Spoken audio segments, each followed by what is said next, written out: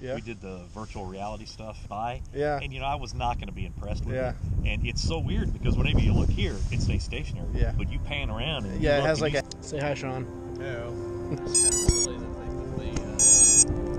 It's kind of a weird design thing. I'm not sure that I like